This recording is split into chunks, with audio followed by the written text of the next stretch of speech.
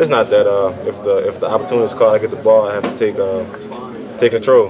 And if it doesn't, I have to block for whoever get the ball. But I mean, is the goal to, to wear down the defense? To feel like in the fourth quarter you guys will be The stronger? goal is to win.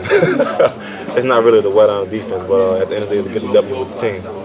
Did you have any idea you would run this many times tonight? I mean, Uh, nah, you know, I, I never have. They never give us a limit on how much, um, how many carries we want to get. What did Coach Frank say about the lateral?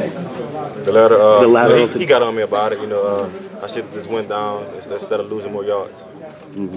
Leonard, are you guys ready for to get back into SEC play? You've had two non-conference games down. Oh yeah, yeah, we are. Uh, you know, SEC is where all the competition's at, and uh, so we got uh, South Carolina coming up. You know, uh, they're not they're not no pushovers, so we have to come out with our A game. Have y'all had y'all's A games the last couple of games? Uh, nah, not really, not at all. Not to not to me. Did that bother you? I mean, like It, it, it does. This one bothered you more this year, this game because of mistakes. Yeah, uh, we made a lot of a lot of mistakes. Uh, something that's, that's not like us. So uh, tomorrow, get in the film room, get to it, uh, fix our mistakes. how, how motivated were you when you came out in the second half? I mean, only a six-point lead.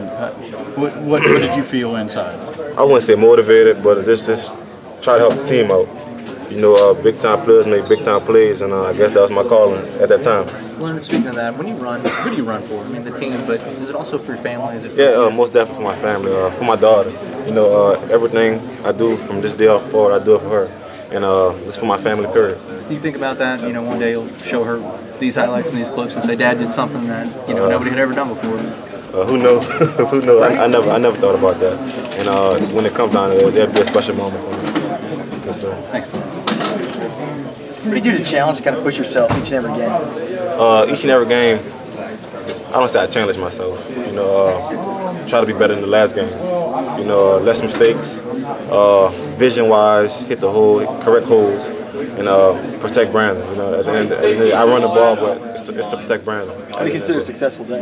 Yeah, it is. It was, but not really. Uh, a lot of mistakes, man. We have to pick it up. You're so